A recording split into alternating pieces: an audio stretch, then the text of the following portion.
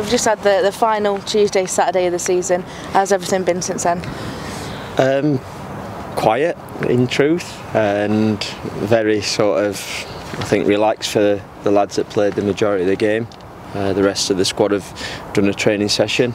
Um, obviously, time of season we're at, not going to overwork uh, the players. So that word recovery again, that's been the, the main sort of focus for myself and some of the staff. Obviously, looking at Charlton and getting his ideas in place um, for that game in terms of threats, any you know weaknesses or, or areas that you think you can exploit. So all in all, just more preparation really for, for that game.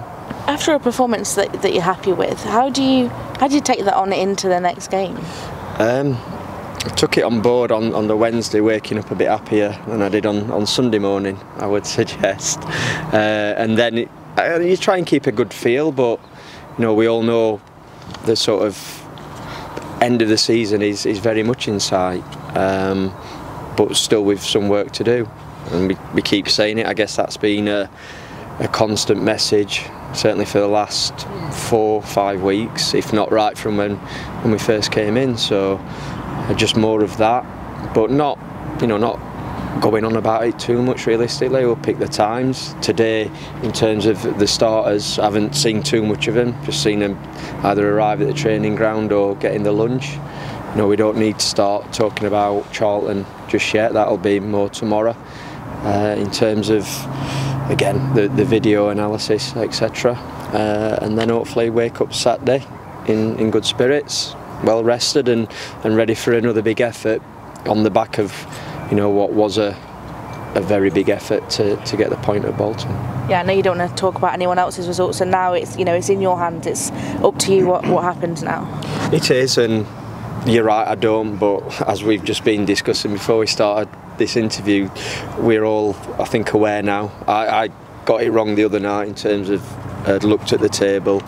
Like I said, probably sent myself silly looking at it, um, and we're probably more focusing on Cheltenham and then now looking at the Burton's situation. Um, I think we've all got our heads around now what we, we do need. Um, but like you say if we go and get a win then 100% we know that that's our, our, job done. But that'll be difficult against the Charlton side that are on a, a long unbeaten run I don't want this question to come across as disrespectful to other teams, but you were happy with the performance against Derby, Bolton, no good performance against Portsmouth. What is it about those games where the team maybe step up a level compared to the other games? Yeah, I mean, I, sometimes you can have a run of results like that or, or performances, as you mentioned, and then sometimes maybe you get involved with a group that are the opposite, that they do freeze and maybe take some heavy beatings against these teams. So it's partly getting to know the, the group that we've been working with. Um, it's nice that they can respond, but as you mentioned there, there's been not loads of times. It's not always linked to, like I said, the result. I'm more looking at performances, and I th think I mentioned it the other day. There's probably been three that have not really any kind of levels that we've been remotely happy with. Um, it's hard to to say 100%. Games are different. We were forced to play well the other night in one sense uh, because if we hadn't, then we would have been on the end of a, a bad scoreline. Whereas just prior to that, the Wycombe game, you're at home. There's a little bit of the initiative. We having to almost take the initiative, and certainly on that day we didn't do that, and it, it was a, a nothing game.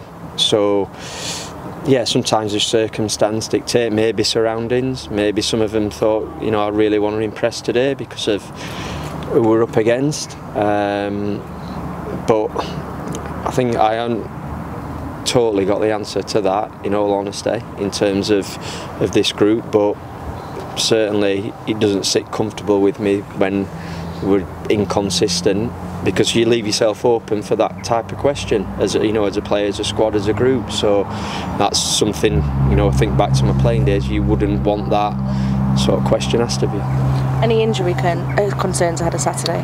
No, all good on that front, which again is nice after you get a good result, and it's amazing then that very little reported in terms of any uh, any knocks or niggles. So looking ahead to Charlton, how are you feeling going into that one? As I said, a tough game. Uh, Nathan's gone in there and I think quickly established uh, perhaps a different style of play, getting his message across. And while there have been a lot of draws in, in the unbeaten run, they've certainly become very hard to beat.